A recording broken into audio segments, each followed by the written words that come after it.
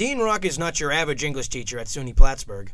The 43 year old is also a starting quarterback in the school's intramural flag football league. And whether he's throwing the football, grading papers, or just channeling his inner child, why does Dean continue to do it all? It's all related to ability. You know, if I can teach effectively, if I can quarterback effectively, why not? Last winter, Dean suffered an Achilles injury while on the basketball court. And instead of letting that bring him down, Dean got right to work on preparing for the upcoming season that just recently ended injuries happen. They happen at all different levels, at all different ages. And, you know, I didn't think, am I going to play football again or basketball again? The re injury rate is 3%, so that is scary. But I'm not going to change the way I live and the way I play just because I got hurt. Dean is the only faculty member in a league dominated by students.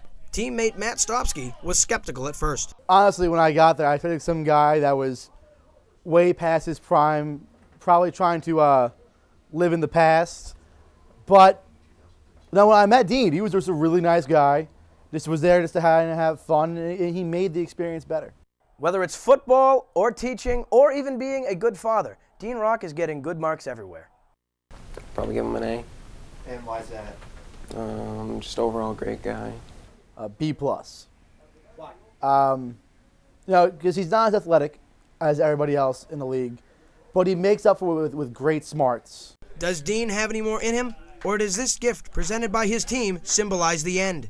There's somebody else I pass the reins to who's coaching, and if he thinks I'm, I'm what's best for the team to win and to have fun, and he asks me next uh, August, you know, I feel like I'll be up for it. I guess he'll keep grading, and we'll wait on an answer.